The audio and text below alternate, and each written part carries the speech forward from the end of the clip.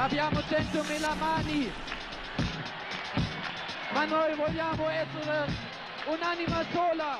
One life. Just one. Don't waste it. Spend it well.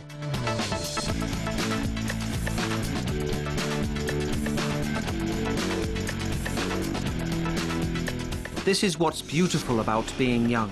At 20, you can choose your own future or imagine it to be different or try to change it. There are young people like this on every continent, idealistic and concrete and open to others. They speak a thousand languages, but they are just one soul and they just have one dream to unite the world. They are young people, but teenagers and children followed them after a while, half a million. They started out in 1967 with a name destined to make history. Gen, New Generation. They wanted to change themselves in order to change the world like those their age who occupied universities and marched in the streets during those years of protest. Let's unite, they said to young people. Faithful to the gospel, they dreamt of a peaceful revolution in which love was the only weapon. They were following a leader, a woman, Chiara Lubich, the Focolari movement's foundress.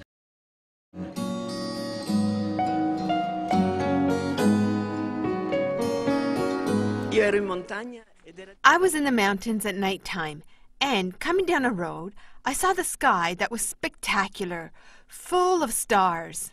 Looking up, I saw the Milky Way with many, many stars. I understood within, it was the Lord who let me understand, that a second generation would be born. You were that generation, and in a sense it would never end, because who can count the stars in the Milky Way? Therefore, my impression is this, and that day the Lord let me understand this, that there would be a new Milky Way with young people that would continue to bring everyone to God. It's true, and that's how you are. From adults to youth, the transfer of the role of witness was marked by a symbolic gesture, the handing out of a trophy.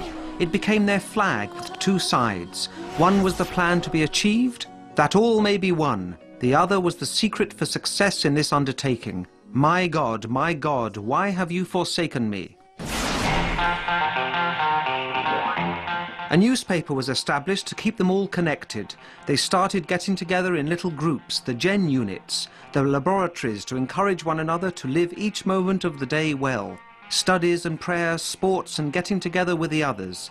Their life was not boring, on the contrary, it was very colourful. A little daily revolution which they called Rainbow. Here then is the revolution that we need to begin under this aspect. Under the aspect of communion, sharing our goods with everyone, sharing our goods with the poor. It's something extraordinary that will give glory to God. It's something marvelous.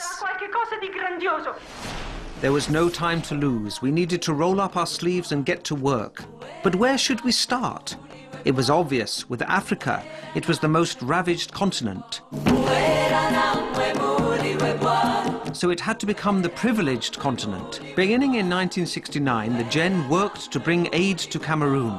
With their contribution, a hospital rose up a high school and other institutions around the city of Fontem. Later on, they also worked for Asia and to bring justice to those suffering injustice.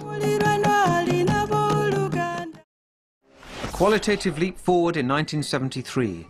8,000 young people came for the first Gen Fest in history. It was held in Loppiano near Florence, and it brought the great rock concerts to mind.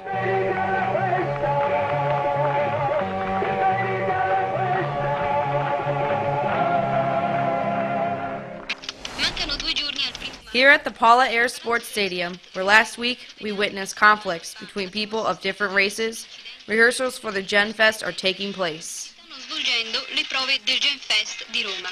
The road has been paved. There's no turning back. Two years later, March the 1st, 1975, the PalaEUR was filled. The following day, Paul VI was blessing 20,000 young people who arrived in Rome. Dear young people, coming from different parts of the world and who call themselves Gen, new generation, it's a beautiful and moving sight. A new world is being born, a Christian world of faith and charity.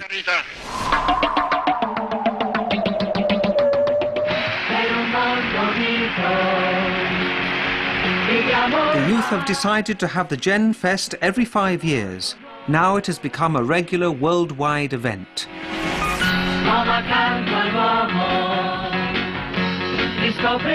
The globe was still divided into two blocks on May the 17th, 1980, East and West. Greetings from all the Gen and the youth from all over the world who are part of the new generation. In the middle of the Cold War, 40,000 young people invaded Rome's Flaminio Stadium. On that day, they showed with their own presence that a united world was a dream that can be achieved.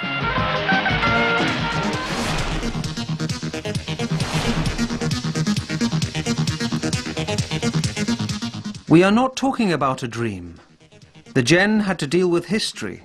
They bore witness to peace in the midst of the civil war between Catholics and Protestants in Northern Ireland. Yes to you. I want to find you.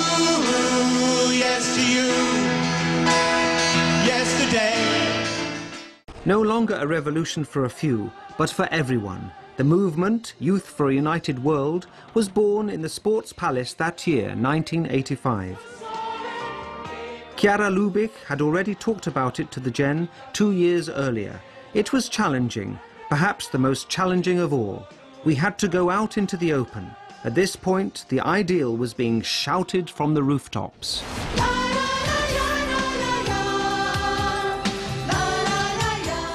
And that is what happened in 1990. The Gen came back to Rome to write a piece of history. A world in rapid change was represented in the Sports Palace on March 31st. The Berlin Wall had been knocked down a few months earlier, and many of the 16,000 young people came from the East for the first time. There to welcome them was a man who had contributed to this change in the course of history, the one who had given a push to the wall, John Paul II.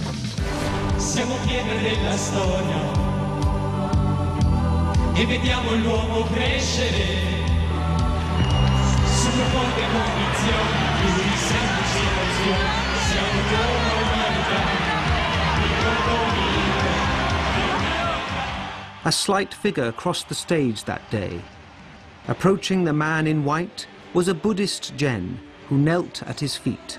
It was a sign of the times, a prophecy. Special greetings to all the television viewers who are connected with us today and those who are connected via satellite. The Earth had become a global village by now. The mass media had shortened the distances, reaching everywhere. And so the Gen spoke about their life to the world in 1995, using satellites and television. Their celebration traveled over the internet for the first time.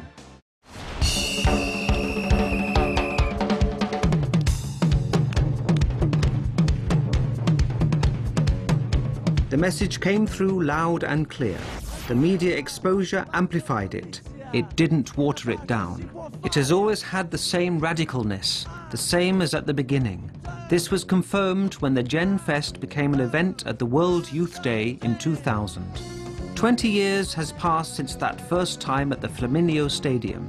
Many Gen had found their way to heaven during those 20 years. Alberto and Carlo, Maria Ursula, Daniela and Santa, young people who had aimed at sanctity with conviction. Among them was Chiara Luce, who died from an incurable disease at 18 years of age. Sono uscita dalla vostra vita in un I departed from your lives in an instant. I would have wanted to stop the running train, which was bringing me further and further away. Un altro mondo Another world was waiting for me. non mi restava che I could not but abandon myself to it. Now I feel immersed in a splendid plan, which little by little is being revealed to me. Gen, young people, don't be satisfied with the crumbs. You only have one life. Aim high. Don't be satisfied with the little joys. Look for the fullness of joy. If you live this ideal, you will inherit the fullness of joy. This is my wish for all of you.